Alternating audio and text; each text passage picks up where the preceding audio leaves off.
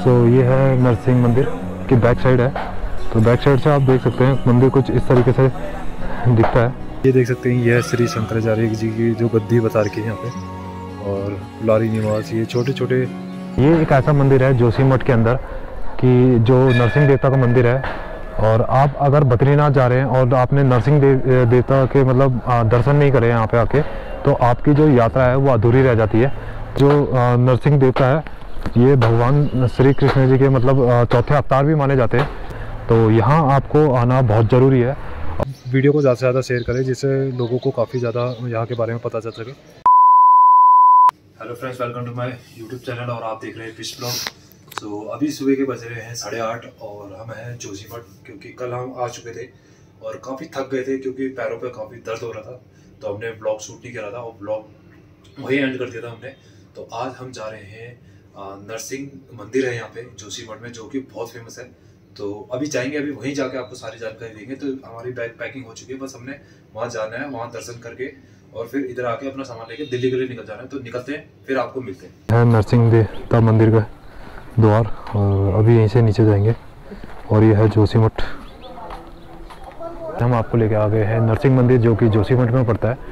और यहाँ के बारे में आपको मैं बताना चाहता हूँ, अगर आप इधर आ रहे हैं तो नरसिंह देवता जो मंदिर है, इसके दर्शन करने बहुत ज़रूरी है। नहीं तो आप आपकी जो बद्रीनाथ की यात्रा होती है, वो अधूरी रहती है। ऐसा बताया जाता है। बाकी मैं आपको मंदिर दिखाता हूँ। बाकी अंदर जाके सारी चीज़ बताऊँगा। तो ये ये देख सकते हैं सामने मंदिर है।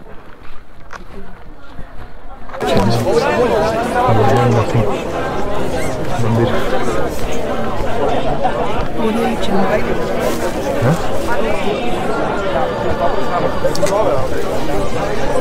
तो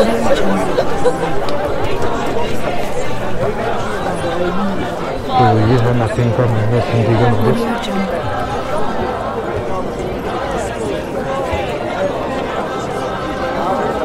तो ये है नरसिंह मंदिर तो अभी अंदर जाके दर्शन करते हैं।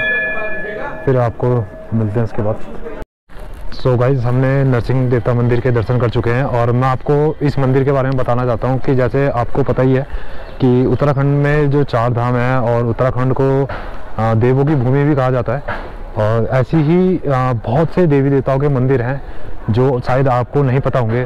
तो ये एक ऐसा मंदिर है जोशीमठ के अंदर कि जो नरसिंह देवता का मंदिर है।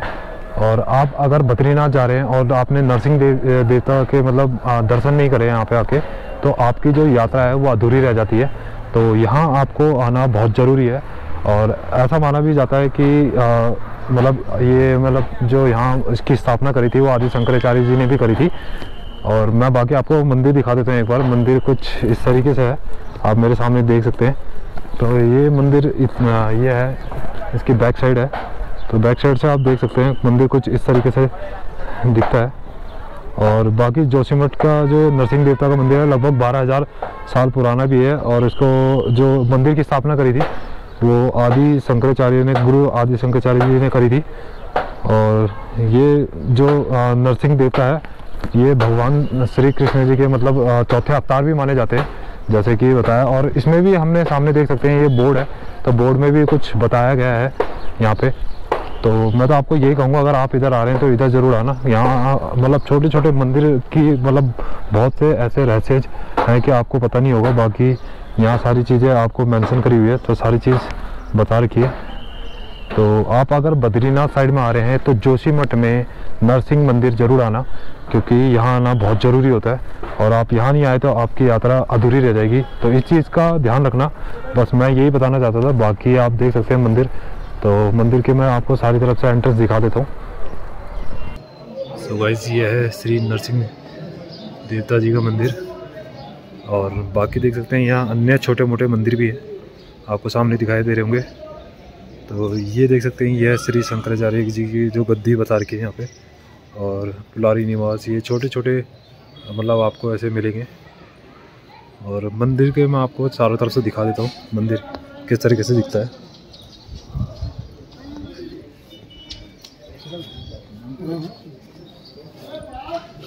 तो ये मंदिर की बैक साइड है। यहाँ से आप मतलब गेट से बाहर निकल सकते हैं। और मंदिर कुछ इस तरीके से है।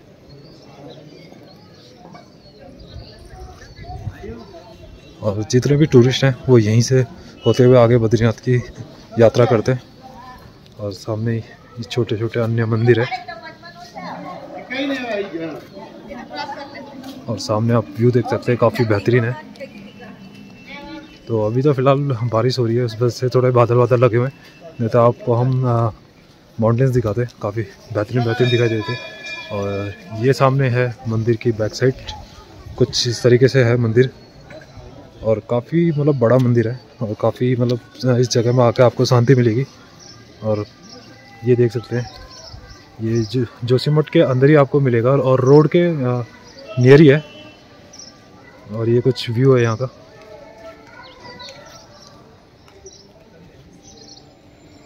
सो गाइस अब यहाँ से निकलने का टाइम हो गया। तो आई होप आपको बहुत सी जानकारी मिली होगी जो हमने इस मंदिर में दी और यही था इस मंदिर के बारे में। हम पहले भी कभी आए हैं मतलब हम काफ़ी जल्दी जल्दी में होते हैं तो हमें टाइम ही मिलता था। तो आज हमारे पास काफ़ी टाइम था। और भाई ने भी बोला कि यहाँ ऐसा ऐसा मंदिर पड़ता है, क्योंकि मैं आया था तो मेरे को तो इतना जानकारी नहीं थी। तो भाई ने चलते बाइक पे, क्योंकि देखा हो तो उस वजह से हमें पता चला तो हमने आज यहाँ आए और हमने सोचा क्यों ना इसके दर्शन करे जाए। तो यहाँ से निकलते हैं और बाकी मिलेंगे आपको नए ब्लॉग में। तो आई होप ये ब्लॉग आपको अच्छा लगा होगा और जो हमारे चैनल पर नए हैं, वो हमारे चैनल को जाके सब्सक्राइब करें और बेल आइकन को प्रेस करें और इस वीडियो को ज़्यादा से ज़्यादा शेयर करें, जिससे लोगों को काफ़ी ज़्यादा यहाँ के बारे में पता चल सके। तो मिलते हैं इसके साथ आपको नेक्स्ट ब्लॉग में और ये ब्लॉग ही एंड करते हैं।